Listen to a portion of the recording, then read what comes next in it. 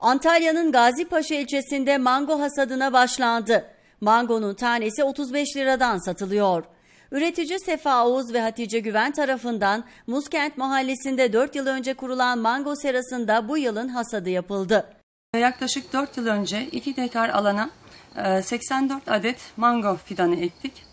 Ve ilk ürünlerimizi 4 yıl sonra ilk ürünlerimizi hasat ettik. 2350 civarında mango meyvesi aldık. Yaklaşık 50 bin e, civarında da kar elde ettik. Bu yıl beklentimiz o yıla göre çok daha fazla 5 bin civarında bekliyoruz. 100 bin civarında da gelir beklentimiz var. Eşinin hayatını kaybetmesinin üzerine işleri devralan Hatice Güven, tüketiciler için iyi mangonun özelliklerini sıraladı. Mangomuz kendi içinde özel bir lifli yapıya e, sahip gördüğünüz gibi. Ama bu lif oranı e, lezzet ve yemek kalitesi açısından e, kaliteli bir mangoysa belli bir ayarı da geçmemesi gerekiyor ki e, yemek kalitesi olsun. Ve gördüğünüz gibi gayet bir kavun görüntüsünde e, şöyle vereyim. Geri kalan diğer kısmı da yine aynı şekilde yatay kesiyoruz ve şu şekilde özel şekilde yaparak sonra gördüğünüz gibi bunu da şöyle yapınca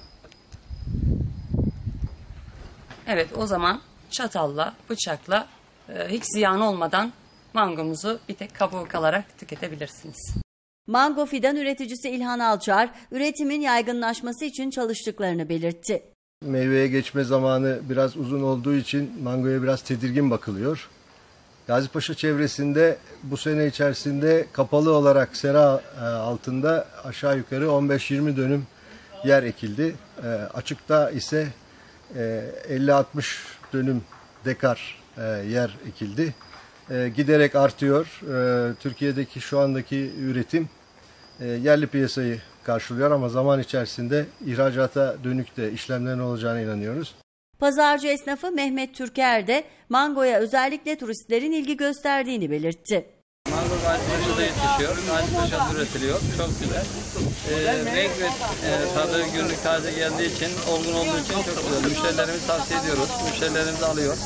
Yabancı müşteriler daha çok ilgi gösteriyor.